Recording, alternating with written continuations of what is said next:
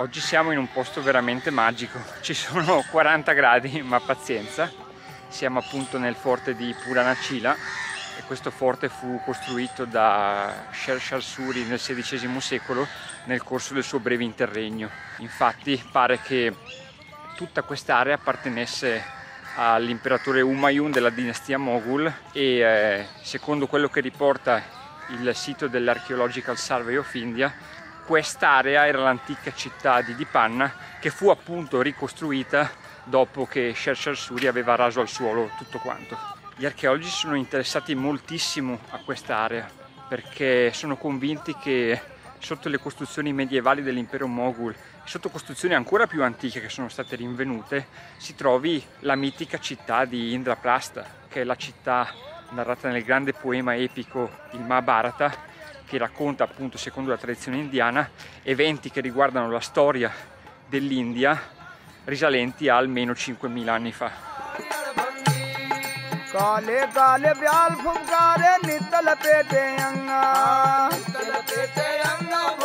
Il Mahabharata è il più antico poema epico della storia indiana e racconta la storia della guerra e delle vicissitudini che interessarono due famiglie tra loro imparentate, i Pandava e i Kaurava.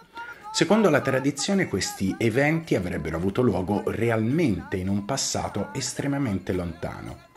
Il testo è considerato un ittiasa, ovvero basato su fatti reali. Generalmente la guerra descritta viene collocata in un periodo di tempo tra il XIII o il XIV secolo a.C. Negli ultimi decenni però molti studiosi hanno analizzato gli eventi astronomici descritti nel Mahabharata, quali eclissi e congiunzioni planetarie, datando i fatti descritti intorno al 3100 a.C. circa. Datazione che collima con la morte del dio Krishna, descritto nel poema, e collocata appunto nel 3102 a.C. e che avrebbe dato inizio al Kali Yuga, l'epoca attuale.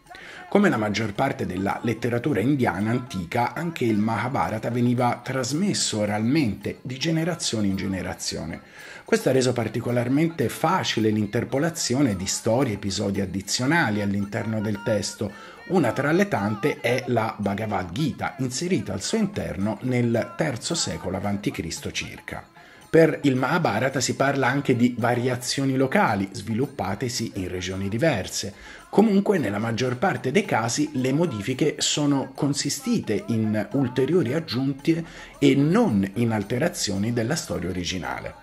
La tradizione induista data la guerra intorno al 3124 a.C. Il Mahabharata inoltre è considerato non solo un resoconto storico, ma anche un codice etico e religioso per i fedeli induisti.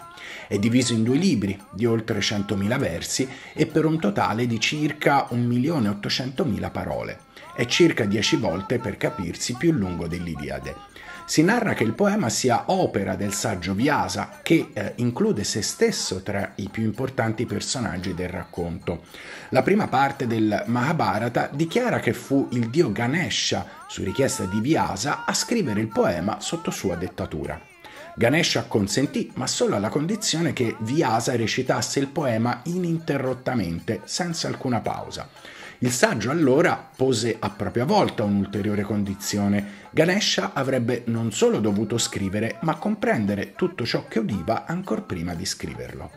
In questo modo Vyasa avrebbe potuto riprendersi un poco dal suo continuo parlare semplicemente recitando un verso difficile da capire.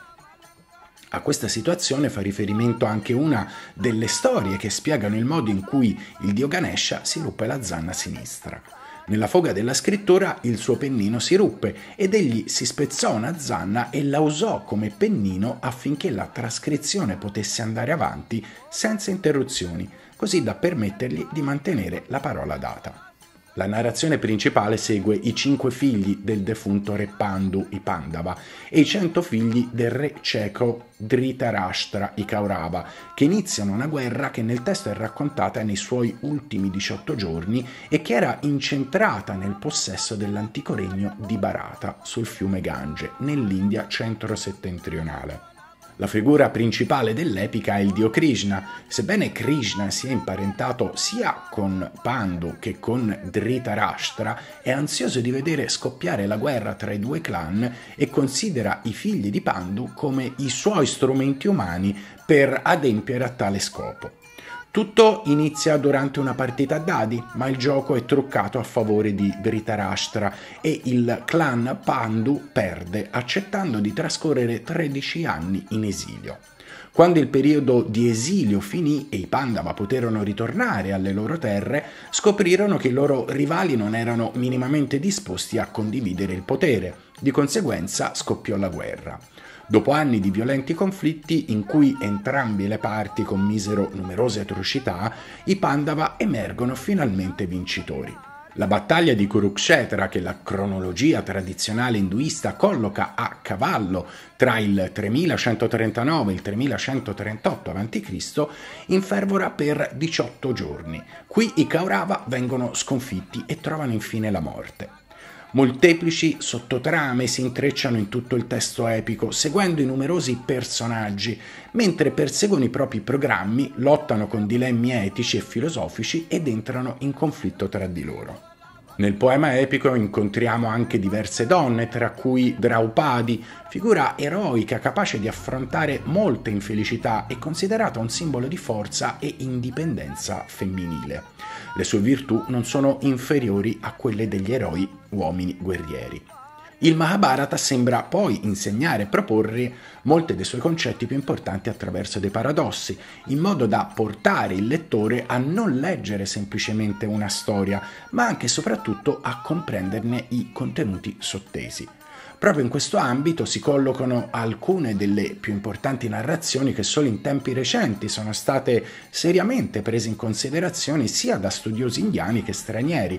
All'interno delle pagine di questo incredibile testo sembrano infatti essere stati celati una serie di concetti e soprattutto conoscenze del tutto fuori dal tempo per l'epoca in cui il testo fu scritto, ma soprattutto inimmaginabili in alcuni casi fino a tempi molto recenti.